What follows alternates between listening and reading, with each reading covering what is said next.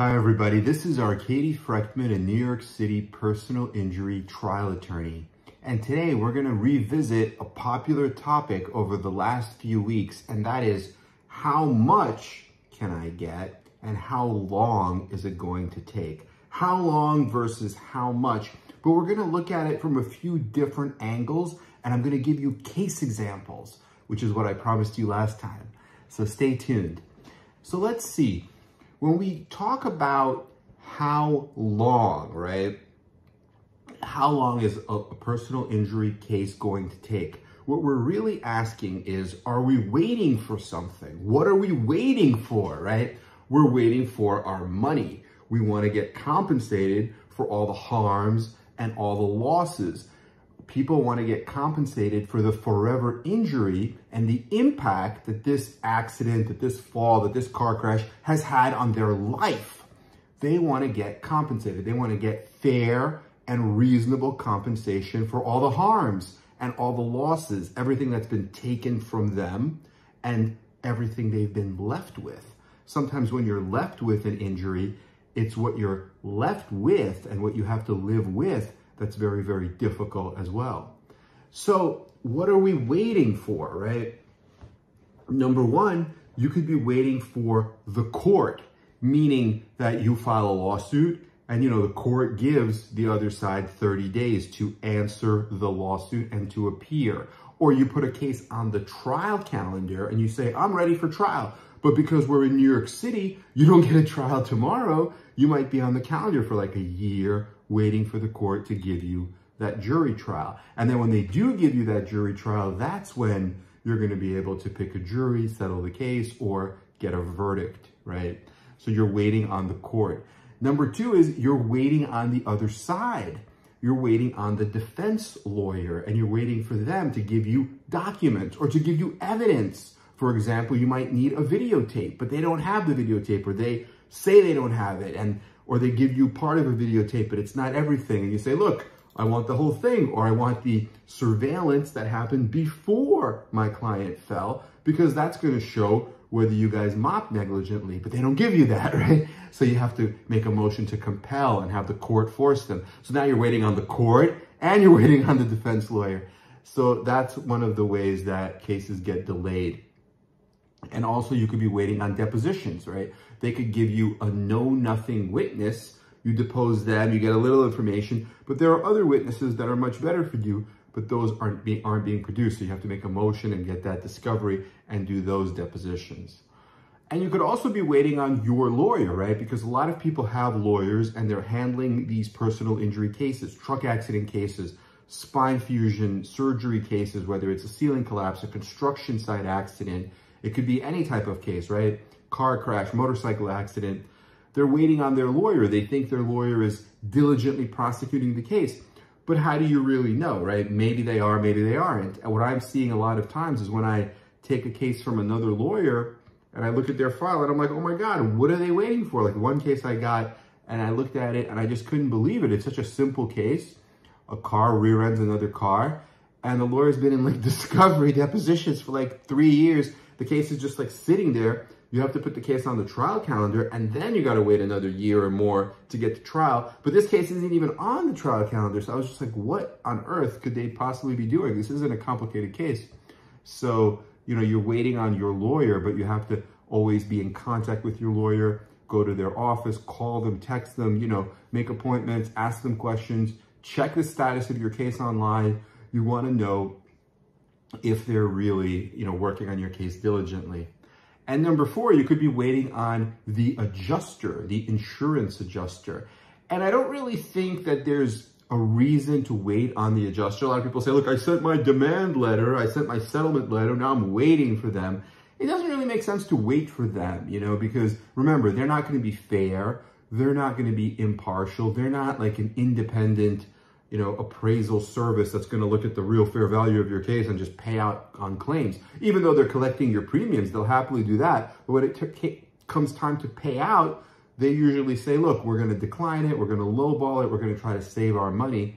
So what I like to do is give them a time limit. Say, look, here's a case. Here's, for example, a truck accident. Client was stopped at a red light. He got rear-ended. He's got a herniated disc. He needs a percutaneous discectomy or he needs a spinal fusion, you have a million dollar policy. Okay, tender the million. You have 30 days. If you don't tender the million, give me a fair and reasonable offer against the million. Like, you know, give me an offer like from 750 to a million. We'll talk turkey. But if not, you know, fine, the 30 days elapse.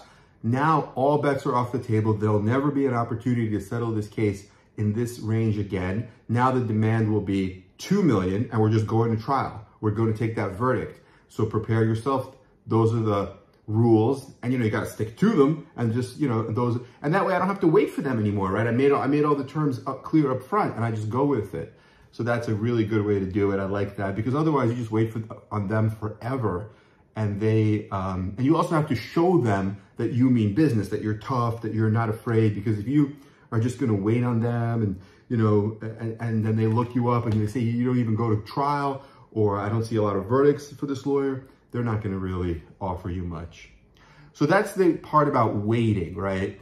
And then how about the other part? How much? Because we talked about how long, and you know, it does take time. And I'll give you some examples. For example, a case that I recently settled for 3.5 million. I mean, that was a case where the incident happened in 2015. So it took a, it took a while. It took like almost eight years. But that was mostly because we were waiting on the trial calendar for the uh, Bronx to give us a trial date. That's most of the delay, and also because of COVID and things like that. Other cases we've seen 2.8 million for a construction case, 1.8 million on a slip and fall, 2.4 million on a truck crash. All those took about three, four years, I would say, on average. And then the quickest case we probably had was maybe like 15,000 at four months, right? The client treated for three months. We got the medical records. We sent the medical records to the insurance company.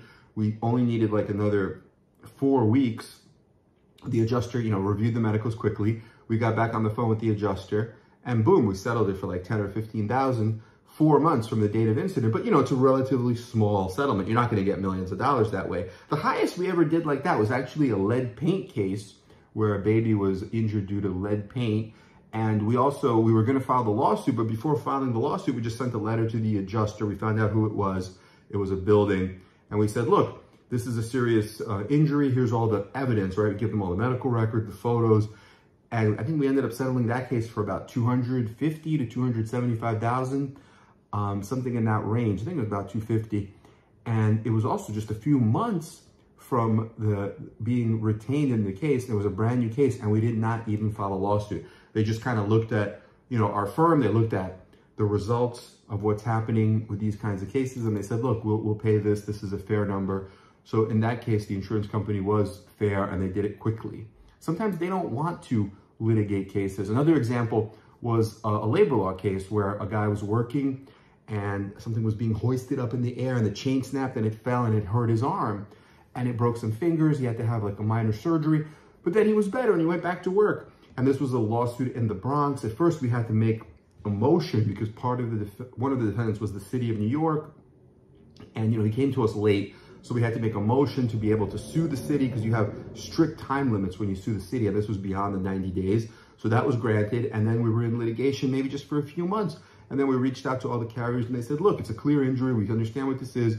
We'll settle it for you with you. I think it also settled for about 300 something thousand pretty quickly. There wasn't really much litigation. They didn't even need to take his deposition. They knew he was a worker. They had the incident report. They knew the chain broke. The thing fell on his hand. He had the fractured hand. Back to work. He's okay now.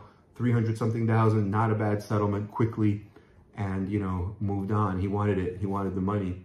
So that's basically some examples of how long it takes uh, and how everything works. Now, the other part of it, right? The other part is how much, how much am I going to get? And I think the simple formula for determining how much is basically number one, well, how bad is the damage, right? How bad is the harm? The more harm, that the defendant causes, the more injury, the more damage, the more compensation. Number two, well, how long is it affecting you? Like in that example, the person had a broken arm, but it got better. The surgery fixed it, uh, and he went back to work. Now his arm is better. You know, so that's why it's not, it's a good number, but it wasn't a huge number, 300 something thousand. But if it was like a much bit back, worse injury, like a traumatic brain injury, which lasts for the rest of someone's life, or if it's like a spinal fusion, which is like a permanent injury, loss of range of motion in the neck or lower back, or if it's something really, really serious, like a loss or amputation of a leg or an arm, you know, th those are like permanent injuries, permanent life-changing, forever injuries. Those could be worth millions upon millions upon millions of dollars. So that's number two. And number three, just the overall impact to your life. How has this impacted your life? So you want to almost like tell the story. This was what my life was like before, and this is, you know, my life before, and this is my life now. And it's different. You know, my life was better before. It was really good, and now it's like not as good. And you don't want to be telling that yourself as the injured plaintiff. I mean, you, you, to some extent, but you don't want to be like whining and just saying, oh, how bad it is. You want other people to do it for you. So that's why I like to use the community witnesses, the neighbors, the coworkers, the friends, people in your life to paint a picture. And remember, these people have nothing to gain or lose, right? They have no skin in the game. They're just independent, truly independent, like your mailman or your dry cleaner or your neighbor or your, you know, a coworker that doesn't really know you too well. Could be some friends, but you and you get each person to tell like a little story, like five, ten minutes and they're on the stand for just like five, ten minutes. It's very powerful because then the jury says, look, so all these people are lying, all these people are lying. Uh, it just doesn't make any sense. And, and, of course, it's true. And then boom, and then you, you show the impact to someone's life. So yeah, so I hope this was helpful. I think that's really what it comes down to, how long versus how much. Now, of course, you have to evaluate each case on a case-by-case -case basis. And that's what we're also going to do in future videos. We're going to do stories about some recent cases we settled. I just settled a case. Uh, my office just settled a case for about uh, close to 800,000. And this was a case of two people in Nassau County that got into a car crash, actually a truck crash. We could do a, a, a video about that. There was another case that was a slip and fall case. I think I talked about this case before in the context of other things like using Google Maps, and uh, I showed some of the, um, the defects. And anyway, but that case settled for, I think, 750000 That was in Brooklyn. And then uh, we had a few others. We had like another one, I think.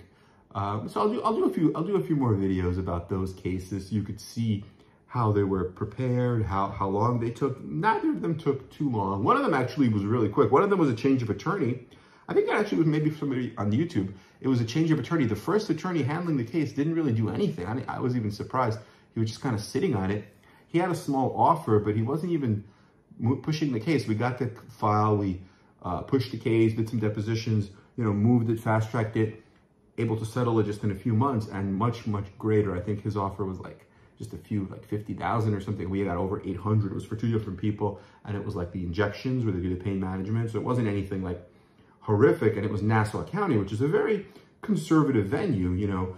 In fact, there was another case out in Nassau County that we had to take to trial, and uh, the judge said, look, Nassau County, these kind of cases usually go for under 100,000, meaning pain management cases. And uh, so, you know, but this was a really good result to get 800,000, almost a million on that kind of case. And then the other one was uh, slip and fall on, on ice, but the ice was also covering like a defect in the in the sidewalk and it was near a, a garage to an apartment building. So the cars were going in and out and they caused some damage to the sidewalk. So the poor, poor guy fell, he broke his ankle really bad and he had like open reduction internal fixation, which is a serious injury. And he, he we settled that one for 750,000. And that one also took just about a few years, I would say three, four years. We, we did depositions, uh, we were ready to put that case on the trial calendar and go to trial with it. So I hope this was helpful. This is another example of how long versus how much. Let us know what other questions you have. We are here for you. We're going to answer your questions. We're going to you know, take your comments live uh, next week. And we're also going to do more last week tonight where we read your comments and answer them live. And I'm going to go back to another series that I was doing where I did um, verdicts. You know, I did like a jury verdict uh, reviews from like Verdict Search, from Westlaw, LexisNexis, all the databases, interesting verdicts, and I would comment on the verdicts and talk about them and all aspects of it. So I'm going to go back to doing that. So let me know what verdicts you want to see. I know some of the common ones are like truck accidents, construction accidents, maybe something with like traumatic brain injury or uh, spinal fusion or, or neck injury, uh, pain management. But I'm going to try to do as many of those. And hopefully if I can get access, I won't only do New York, but I'll try to expand my reach a little bit and do some national verdicts as well. Okay, I hope this was helpful. Let us know what questions you have. We are here for you. Have a great day, everyone. Okay, bye-bye.